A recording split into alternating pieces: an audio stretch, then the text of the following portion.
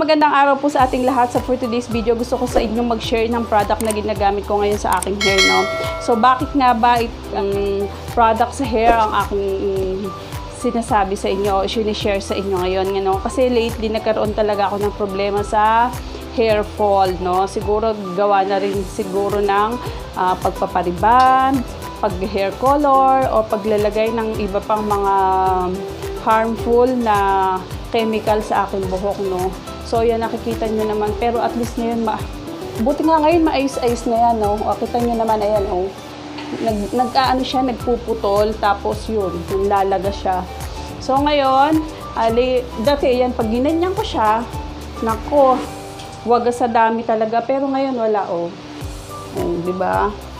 Ito, walang halong ek-ek-ek labush to ha.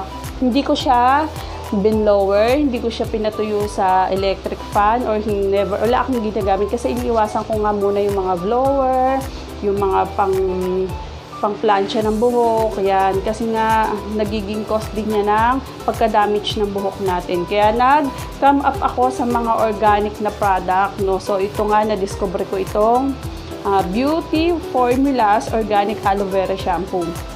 So maganda talaga to. Sobrang lambot niya sa, sa buhok, no? At saka, para na rin siyang may conditioner, no? Kahit na hindi ka na mag-conditioner, malambot siya at super bango niya. Actually, ito na nga rin yung ginagamit ng anak ko eh. Kasi nga organic naman siya, no? So ito na rin yung pinapagamit ko sa sa kanya, do sa 7-year-old kong anak. So, maganda rin kasi dito, meron siyang nakalagay dyan, no? May expiration date ng nakalagay dito. And then, organic siya. Hmm. Ano, nakita ko na rin naman kasi yung changes dun sa na, nung start ng ginamit ko to, no? Sobrang lambot niya, hindi siya nanlalaga. Actually, meron pa rin namang hair fall, pero hindi na katulad nung dati na ganyanin mo lang. Yung paggaganyan, ayaw na ayaw ko talaga, na kahit na magsuklay, minsan ayaw ko na magsuklay, tinatamad ako. Kasi pag magsuklay ako, talagang ang dami-dami doon sa sa suklay, no? At the same time, dito sa kamay ko, oh, ngayon wala siya, oh. Kahit isa wala, di ba? Mm. Yan. So, hindi siya ganun ka, ah, sabihin natin yung magiging, mag, at least nagkaroon naman ng volume yung hair ko, oh. Hindi naman siya yung super pangit. Ito talaga yung natural na buhok ko. Yan. Hindi ko siya, wala akong, hindi ko siya ginagamitan ng blower or yung pang straight ng buhok. Yan. Hindi rin siya malagkit kay sa buhok no? Kapag ka tumagal na or napawisan ka na, hindi siya malagkit, hindi siya ganun, no? So, mabango talaga siya gamitin, no? So, yun. So, sobrang ganda nga nito, guys. Alam nyo, nakadalawa na ako.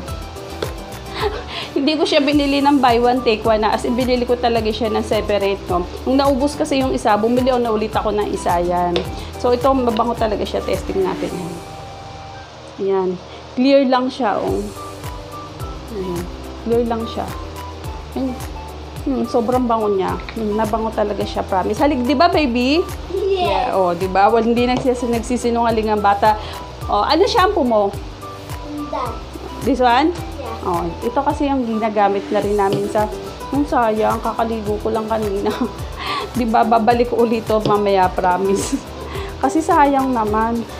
Ang hirap magpunta ng mall ngayon, di ba? Para lang, ano, kasi nga, naka, merong pandemic tayo ngayon. So, sayang, susoli ko dito sa bote. Nabubuksan naman siya. So, yun na nga, guys, no?